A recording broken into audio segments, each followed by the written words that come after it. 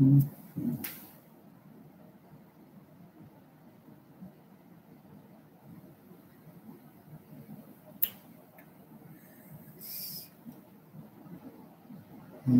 Good morning.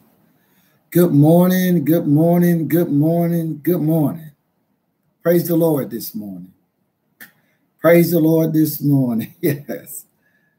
Thank you, Susan Lee. Thank you for your prayers. I need them. Melanie, thank you. Blessings this morning. Blessings, blessings this morning. Thank you all for joining in this morning. This is the day the Lord has made, and we're going to rejoice and be glad in it today. Today, praise the Lord, somebody. Praise the Lord. Glory, hallelujah. Praise the Lord this morning. Thank you, Jesus. Thank you, Lord, this morning. Thank you for another day, God. This 25th day of the month of April. Thank you, God. Thank you for what you're doing uh, through the body of Christ, God. Thank you, Lord, that your hand has not left us, Lord. Thank you for this nation, Father. Thank you for, God, our communities, even now that are gathering together to come uh, go to your house of worship, God. We pray for them right now in the name of Jesus. We pray for people that are in their homes and, and, and they won't be going uh, to a church or a service or a congregation. God, we pray for them this morning, God. We thank you, God, uh, with the gift of communication, uh, even this live stream broadcast. Father, I thank you, Lord, and pray that your spirit move in such a way that someone's life is forever changed. Someone gets drawn closer to you, King Jesus. And so thank you for this word. In your holy name, I give thanks, Father. Amen. Praise God. Praise the Lord. Praise the Lord this morning. Praise the Lord. Yes, I am traveling and and my goodness, we are in uh, we have been in the book of Acts. We are in Acts chapter 13. If you have it, uh, your Bibles, please turn to it. And we're going to get into the word. Uh, uh, this this time in the book of Acts, now we're we're beginning to see a shift. Um, the remaining chapters are primarily dealing with uh, the church and the ushering in of the Gentile people. And there's a move of God that we start uh, reading about the gifts and reading about the, the supernatural miracles uh, that God continued to pour out on the body of Christ. And we begin to see how God started in the church, bringing in diversities, bringing in uh, different uh, ethnicities and and so Acts chapter 13, get it, and we're going to get into the word this morning. Praise the Lord. I hope you're feeling good today. I hope you got a smile on your face. Good morning, my wife. Good morning, sweetheart. Good morning. Good morning, coach. Coach McDonald, good morning. Thank you. Thank you. Praise the Lord this morning. And we're going to get into Acts chapter 13 and and in verse 1 it says, and now there were in the church that was at Antioch certain prophets and teachers, as Barnabas uh, and Simeon, that was called uh, Niger, and Lucius of Cyrene, and Manaen, which was brought up with Herod the Tetrarch, and Saul. Now we're in Antioch. You know, Antioch is where the the the first the first revival broke out at Antioch when a mighty move of God happened. And now we're reading about prophets and teachers now that are that are coming together, that are administering uh, the body of Christ with all the things that go on with the church. Read about Barnabas, who was a I mean, look at the diversities here. Barnabas was this he was this Jew. Uh, he was this Jewish man uh, from Cyprus, and Simeon that was called Niger, uh, Simeon was his uh, Roman name, and and Lucius of Cyrene. And I looked up Cyrene. Cyrene is in northern Africa, uh, uh, and, and Manaen, which was brought up with Herod the Tetrarch. He was he was brought up with you know with, with some type of you know you know, royalty relationships. And, and what we see is the diversity of God working now. We, we got people from Africa. We got people from Libya. We got people from uh, Jerusalem. We, we got people from all over. We got we got Saul, who was from Tarsus. Uh, you know, you know, he was a you know uh, he grew up in a Greek culture, and yet he was studying in Jerusalem up under uh, uh, And so, look at the diversity here. These people are come together at the church at Antioch, and they ministered to the Lord and fasted. The Holy Ghost said, as they ministered to the Lord and fasted, the Holy Ghost said, Separate me, Barnabas and Saul, for the work whereunto I have called them. Now, let's look at this. The Holy Ghost said. Now, what type of voice did the Holy Spirit has or have? He spoke. And undoubtedly, he spoke through one of these prophets. So we're reading now of these different gifts that the body of Christ are ministering with. And you can read about that in First Corinthians 12, verse 7 through 10. Uh, the, the Bible talks about all these different gifts uh, that, that were given, you know, these nine spiritual gifts. One was a, you know, a word of wisdom or, or and, and then a word of knowledge or the working of miracles, the gifts of prophecy, the gift of faith. All of these, these gifts, they, they are, they are, they are for the body of Christ. They are working and so there's one of these prophets, he gets uh, a word of knowledge. The Holy Spirit is speaking through him, and he's given an utterance and saying, Separate Barnabas and Saul, separate them, you know, for the work of the ministry. And and and and and and and, and think about this now. These gifts, they did they didn't just disappear. These gifts are still in operations today. So many of us, when we think about the workings of miracles, we we we kind of you know we placate that to someone else, or uh, the, the, the workings of healings, and and and and it's almost like you know these gifts that was for the old Bible times, and and not now. But I take you know I, I take offense with that because the Bible says in, in Romans chapter 11 and verse 29, it says the gifts and callings of God are without repentance. That means that when God gives a gift, he's not taking it away. That the same God that was using these gifts back in the New Testament, we are using these gifts now. People still get word of knowledge. People still get words of wisdom. The workings of miracles are, are continually happening now in this dispensation. And so we should not look at this text and see these things and say, you know, the Holy Ghost spoke. You know, can can the Holy Spirit actually speak? Yes, he can speak. He can speak through me. He can speak through you. He can speak to your spirit. He can give you a revelation. He can give you uh, utterance, and, and and and and by faith we speak out those things. Verse three, and when they had fasted and prayed and laid their hands on them, now we see the laying on of hands. They sent them away. Barnabas and Saul, they sending them out now. They're going out because the Holy Spirit is pushing them out. So they being sent forth by the Holy Spirit. They wasn't sent forth by the pastor. They wasn't sent forth by the apostle or anybody else. They were sent forth by the Holy Spirit. They had got this utterance or this word of knowledge from one of these prophets that undoubtedly has spoken to them and they adhered to it and they went about doing the work of God. And the Bible says uh, they departed unto Seleucia and from thence they sailed to Cyprus. And when they were at Salamis, they preached the word of God in the synagogue of the Jews. And they had also John to their minister. John, John Mark, now he's along with them. The three of these men, they are traveling out with ministry together.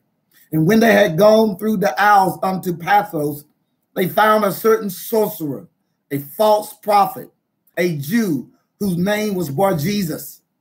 Now, this sorcerer, this this individual that supposedly had power and could tell you things and and and, and could work all these different uh, cantonments, uh, these cantonments, these different different magical portions, and and and this Bar Jesus, he he has some reputation. We we read about Simon the sorcerer in Acts chapter eight, and and so this is a sorcerer now that they come in uh, contact with.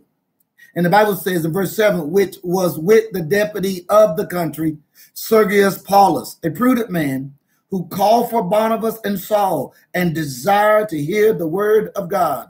And they he desired to hear about Saul. He desired to hear from Barnabas. I mean, I mean he, he, he desired to hear these men speak. He says, Come. But Elymas, the sorcerer, for so is his name by interpretation, withstood them, seeking to turn away the deputy from the faith. This sorcerer now, this Bar Jesus, now he is resisting Barnabas and Saul. Now, here it is the confrontation in ministry, our walk as believers in Christ Jesus. We are going to have confrontations with the dark side. You're not just going to get this free pass. You're not just going to be uh, saved and on your way to heaven and not and not deal with some of the adversities that that happens on this journey in life. The Bible says they that live godly will suffer persecution. We're going to have trials. We're going to have tribulation. That's a part of our journey. It's a part of Saul's and Barnabas' journey here. They are dealing with a whole bunch of things we're going to be reading about. And it's what Christ dealt with on his journey. And so, you and I, when these things happen to us, we should not just be shocked. It is part of our journey, but we should endure hardness as a good soldier for Jesus Christ. Yes, this individual, this sorcerer, he withstood them. Verse 9 Then Saul, who also is called Paul, filled with the Holy Ghost, set his eyes on him and said, Listen to these words of Paul. He says, Oh, full of subtlety and all mischief, thou child of the devil, thy enemy of all righteousness, will thou not cease to pervert the right ways of the Lord? And now, behold, the hand of the Lord is upon thee, and thou shalt be blind, not seeing the sun for a season. And immediately there fell on him a mist and a darkness, and he went about seeking some to lead him by the hand. Look at Paul. Paul will not put up with this. Paul had a mission to accomplish. He had work to do for God's kingdom. And this individual was resisting him. He was not only resisting Paul, he was resisting God because Paul had the word of God in him. And notice that Paul did not put up with it. He spoke a word. Now, this is powerful. He spoke a word and told that individual he's going to go blind. And immediately a mist fell upon this sorcerer and he was blind. He had to have someone to lead him. Look at the next verse. Then the deputy, when he saw what was done, believed, being astonished at the, the doctrine of the Lord. We're going to stop there. Look at that. Salvation has happened when there was a demonstration of the power of God. Now, we are not to be going out here, you know, casting people blind, casting blindness upon people. But but Paul, he he he ministered in such a way that this individual, you're not going to stop what God is doing. And we've got to we've got to catch hold of that spirit here in 2020 and 21 we cannot continue to allow the evil one to hold us back, to tell us how we should worship, to tell us how we should believe, to tell us the interpretation of the word of God itself. The word of God speaks for itself.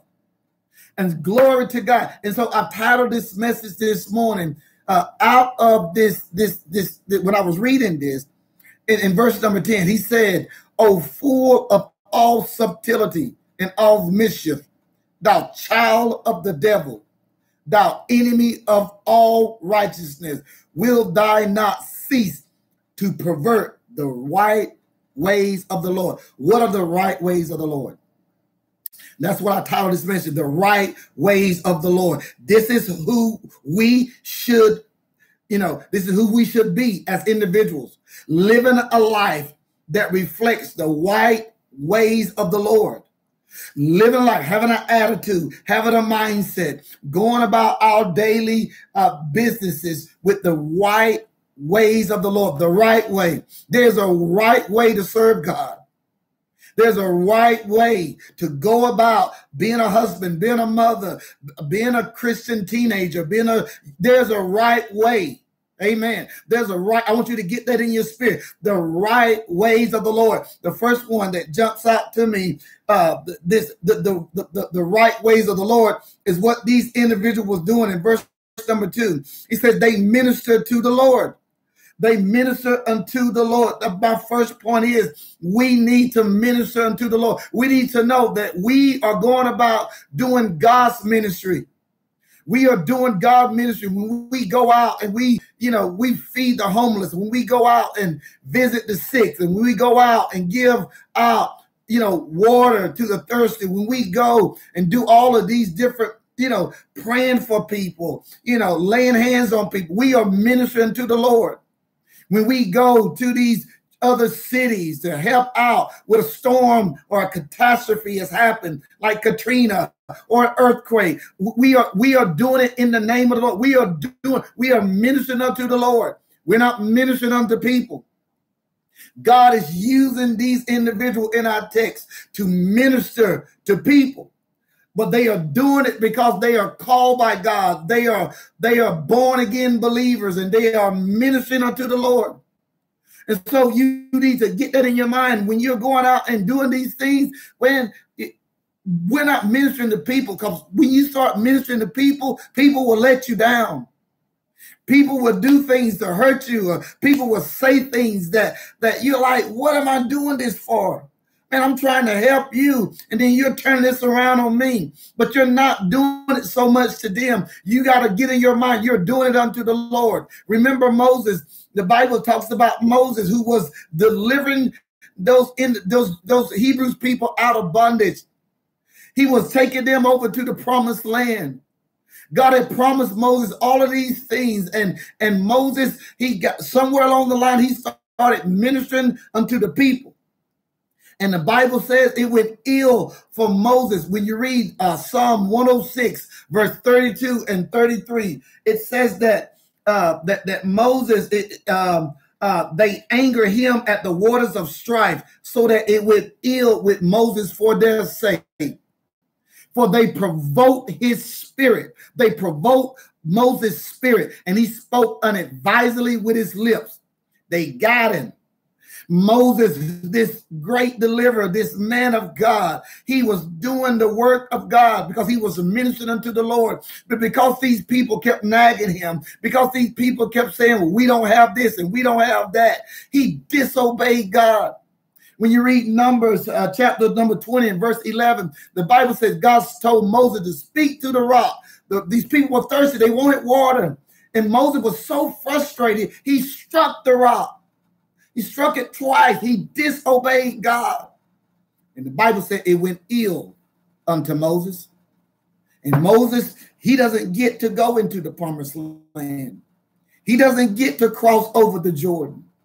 He died on the other side of Jordan. I don't want to die on the other side of Jordan. I want to go over and fulfill the call upon my life. That's got to be inside of you. You got to want to go over and fulfill the call upon your life.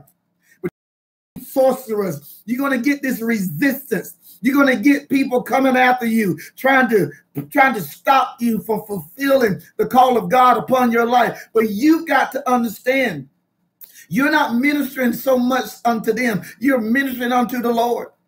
You are doing this in the name of the Lord. You are doing it. The Bible, that's why Jesus says, bless those that curse you, do good to them that hate you, and pray for them that despitefully use you and persecute you. In Matthew 5 and 43 onward, he is speaking these things. Why? So you can know that you are doing it to glorify God. And some people are not going to receive you. Some people are going to reject you. Some people are going to talk ill against you. And let me tell you what, you gotta get some, you gotta get some thick skin. You gotta be able to take, you know, you know, accusations. You gotta be able to take criticism in a way that it doesn't stop you from going about to do the work of the Lord. Amen. Somebody, I pray that you get this. Then the next thing, the, that's the right way of the Lord. The next right way of the Lord is, is we, we should implement fasting uh, upon our journey in our ministry. There are times where we just need to fast. We need to fast from food. We need to fast from social media. We need to fast from television. We need to fast from cell phones. We need to fast. We need to just consecrate ourselves. There's something about fasting that draws us closer to God. One thing. Another thing about fasting, and it kills the flesh. It kills a lot of the desires of the flesh. Things that you can't get over, things that, man, just haven't worked out. We need to go on a fast sometime.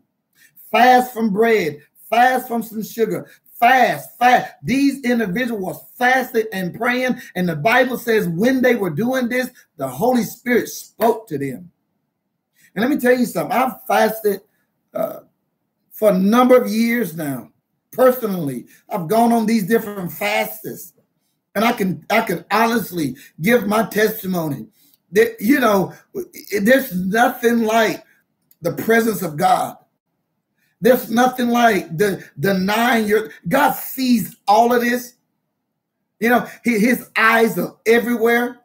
Proverbs 25 and 2, the eyes of the Lord are everywhere, beholding the good and the evil. God is watching us. And I can recall times on these fasts that I'm telling you, I've gotten things spoken into my spirit. I've gotten like a direction to go and a direction not to go.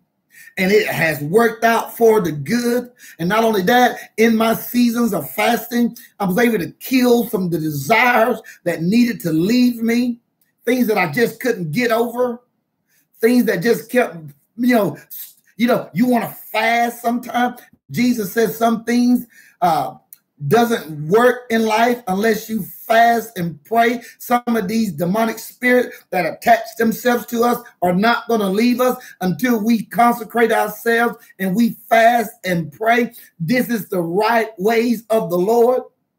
The right ways of the Lord. See, this individual, this sorcerer, when Saul said, Will you continue pervert the right ways of the Lord? The right ways of the Lord, it deals with consecrating yourself, it deals with fasting and praying, it deals with it. Amen, somebody. Glory to God. I'm talking about this, this, that when we start denying ourselves, man, we we become eligible for all of these gifts to start working through us in such a way that you know, the Bible says God's no respecter of persons. And so praise the Lord. Praise the Lord when we can consecrate ourselves, when we can when we can just push away the table. Like, you know, let's say dinner. We're not just gonna eat dinner. We're gonna eat breakfast and lunch. We're gonna we're gonna back up and we're gonna spend that time praying to God. We're gonna ask the Lord some things. Amen. God is looking. God is watching us.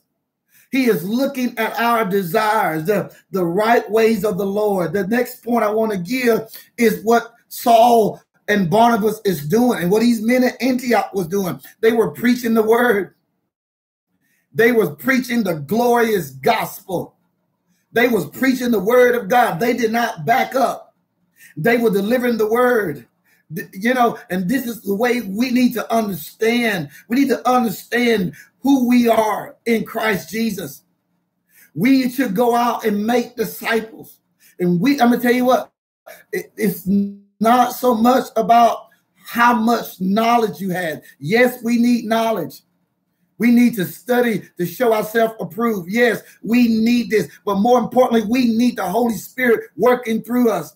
When the Holy Spirit is working through you, I'm telling you what, you are all of us are preachers. We may not be pastors and apostles and and you know evangelists and teachers and, and but we are preachers. We are ministers.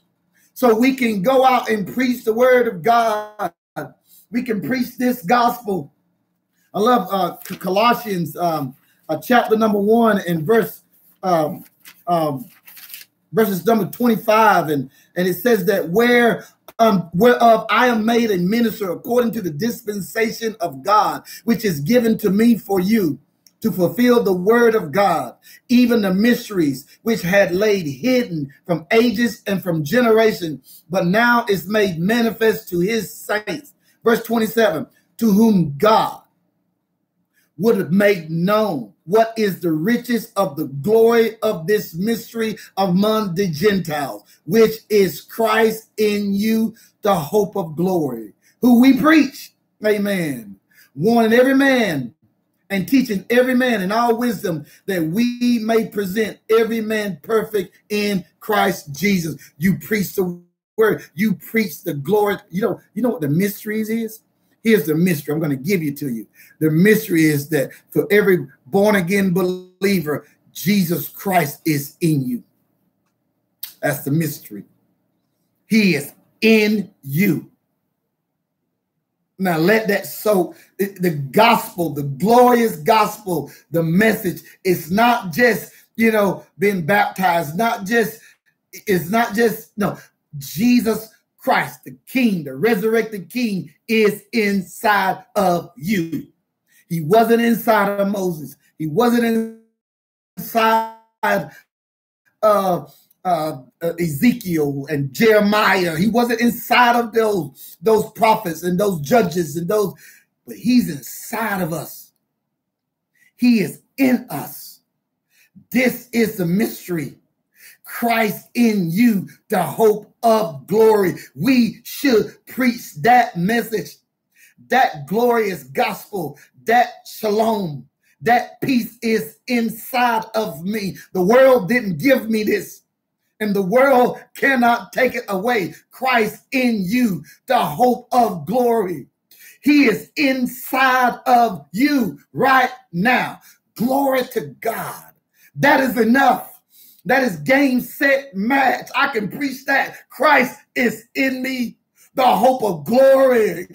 It does. I didn't go to a seminary to get this. I I didn't go into law school. I didn't go to medical school, but I went at the foot of the cross. Glory to God. I went there and surrendered it all unto Him, and He has raised me up in newness of life. And now He is with me. And so it doesn't matter if I'm not accepted by the status quo. It doesn't matter if they don't accept. What matter is Christ is in you, the hope of glory, and go and preach that. Preach that word. Preach it to somebody. Tell somebody that Jesus is in you, that you are a brand new species, that you have been changed. You have been supernaturally changed by the power of Christ Jesus. And so the worries, the stress, the depression, the anxiety, that all these things the world tried to put on you, it can't stay on you because Christ is in you. The hope, glory to God. We got to preach that word. That's what Paul was preaching. That's why he was so adamant about getting this word out. And no sorcerer, no witch doctor, no religious heritage is going to stop me preaching the word. Preach that word. Amen, somebody. Preach the word. Preach the word. Preach the word. Preach it. Preach it. Preach it. Teach the word. Teach it. Teach it. Teach it. Make disciples. It's inside of you. If Christ is inside of you, you can do it. Glory to God. You can do it. My last point I want to make is don't put up with evil. Don't put up with it. That's what Paul did. He did not put up with it. I mean, evil is going to come. It's going to happen. You got, you know, here it is. It, it's just, it's, it's like it's constantly real time, and you see this, all of these things that are happening around us, and it's easy to get sucked into it. But my word to you this morning: don't fall for it. Don't don't fall for it. It's a trick from the wicked one who's here to divide. He's trying to divide people. But let me tell you what, God is not about dividing. Jesus says a house divided against itself cannot stand. We should be about bringing people together. And when the evil tries to come and stop the word of God, when the evil tries to come and divide husbands and wives and divide sons and fathers and mothers and daughters, when he come try to divide churches. He wants to try to break up congregation. We cannot put up with it. No, Jesus said, as he says, my house shall be called a house of prayer, but you have made it a den of thieves. Glory to God. I'm not going to put, Jesus didn't put up with it. Remember, he turned over the changers, the money changers. He drove all of those people out of the house of God. Why? Because he was not going to put up with it. He made no provision for for the flesh. And some of you people, some of us, we deal with a lot of our old man. People try to bring us back into who we used to be. And let me tell you what, don't put up with it. That's not who you are. You are a brand new creation in Christ Jesus. So you walk a different walk, you talk a different talk. God has done a new thing. Glory to God. So don't put up with it. Don't engage in that type of gossip talk. Don't be around all of that type of debauchery, drunkenness, wantonness. We, we you remember, turn to quickly. Romans 13 and verse 14. I'm going to read these two verses, then I'm going to close. Romans 13 and, and verse, yes, Romans 13 and verses 13 and 14. The Bible says, let us walk honestly. Let us walk honestly. We're not going to put up with dishonest. I'm not going to put up with liars.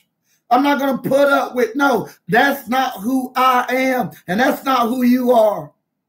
He says, let us walk honestly as in the day, not in rioting and drunkenness, not going out in the streets, getting drunk, talking loud, acting crazy, not in chamber and wantonness, not in strife and envying. We're not going to envy people. That's what the enemy. He wants somebody to get mad because someone has something that that that that person may want or desire. Man, we're not going to be envying people.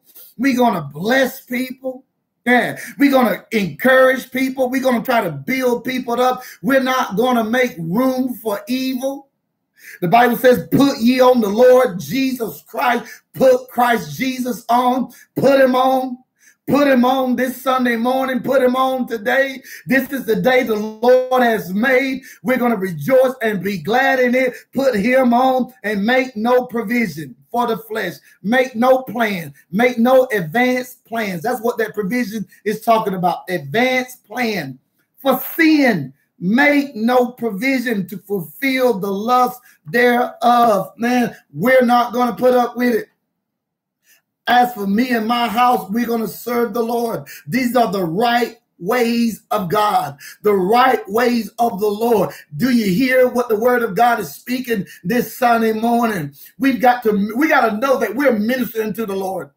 We're not we, we're doing we're dealing with people, yes, but this work is unto the Lord. We are doing it to glorify our God. Uh, this is why I'm on these broadcasts every Sunday morning. I'm, I'm trying to draw people closer to Christ Jesus that's want to go out and do the call that God has upon your life. Glory to God. Glory to God. Praise the Lord. Praise the Lord. I want to draw people closer to Christ Jesus. And so I'm going to preach the word. I'm going to continue to have my mind focused I'm ministering unto the Lord. I'm doing all that I, I'm going to do it. I'm going to sell out. I'm going to be empty but I'm doing it to glorify him, not to glorify me, not to get some type of following. Some people, you know, so no, I'm not looking for the adoration of man. I'm looking for the adoration of our King of Kings. Glory to God. Hallelujah this morning. Praise the Lord. Praise the Lord, whom all blessings flow. We're going to take communion, but this, that I'm going to, you know, just Go over that again. The right ways of the Lord. Learn to minister unto the Lord. Learn that. That when you're out here doing it, you're doing it to you're doing it because God has equipped you to do it. And if God has equipped you to do it, go do the work. Implement fasting upon your journey, your ministry, wherever you're doing. It doesn't matter. Even in the corporate world, there are times, man, it's just such a grind. It's, it's, it's the next, you know, it's the next deal. It's the next, you know, thing that's coming up. And there are times that we just need to just stop and step back. I'm not going to eat lunch this week. I'm going to fast. I'm going to preach the good news. That's the gospel. The good news is that Jesus is in us. That's the good news. That's the good news. That is, I'm telling you, He is in. Uh, he's in me, and I'm tell you what, I, it, it's it's like it's these things that are being spoken by the, the, the apostle Paul, how you become a a, a, a brand new species, a new creation. It a, a, a creature that never existed before. This is when Christ comes in you. This is the born again experience. Hey, glory to God. I'm going to preach that. Then I'm not going to put up with evil. Not even going to make any provisions of it. You know, we're not dumb. We're not stupid. I mean, we know when we know when when temptations come, and we know when we put ourselves in certain situations, it, it's probably not going to go good. So make no provision for it. Don't put up with it. Praise the Lord. Praise the Lord. God, I want to thank you. I thank you for the word this morning. I thank you, God, for uh, blessing uh, your sons and daughters, God. Even now, as I speak, I, I speak blessings over them now. I speak blessings over their minds. I speak blessings over their minds right now in the name of Jesus. Every negative thought, every depressing thought, every suicidal thought, every angry thought in the name of Jesus. I speak life to your mind right now in Jesus. Live and not die in the name of Jesus right now. I say be healed now in the name of Jesus right now. Rise up again in the name of Christ Jesus. Get up, get up, get up again. Glory to God. Get up again in the name of Jesus. Paul spoke those words to a sorcerer, told him he was going to go blind, and he went blind. I'm speaking a word to you today. Get up again. Bodies be healed again. Mind be encouraged this morning. Confidence come back to your mind this morning. I call you back now in the name of Jesus. Get up in Jesus' name. Glory. Thank you, Lord. Glory. Hallelujah. We're going to take communion. We're going to give thanks. We're going to remember the body of Christ Jesus, the bread of life, the true bread which came down from heaven. Man, we, we discern the body. You know, the Bible says Jesus, he took all of those beatings for you and I and by his stripes we are healed. Healing comes from Christ. And so, Lord, we thank you for the healing. We thank you for your body that you willfully gave for us. We partake now.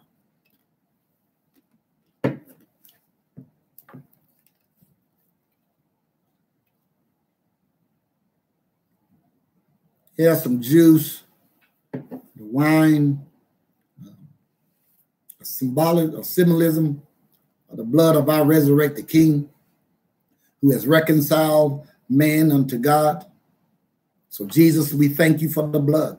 We remember you, Lord.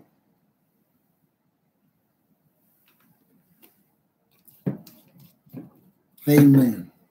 Praise the Lord. Thank you. Thank you. Thank you, Lord. Amen. Praise God. Anybody got any comments before I close? Praise the Lord. I know we finished up little earlier today, but praise the Lord, we got the word in. We got the word in. What what a beautiful day God has given us. I want you to enjoy this day. I want you to go about doing the things of the Lord. I want you to remember this word the right ways to serve God. There's a right way to do it. And if there's a right way, then there's a wrong way too. We don't want to be on that wrong side. So, Father, I thank you again Uh, may the Lord God bless you and keep you and make his face shine upon you and be gracious unto you. May the Lord lift up his countenance upon you and give you shalom.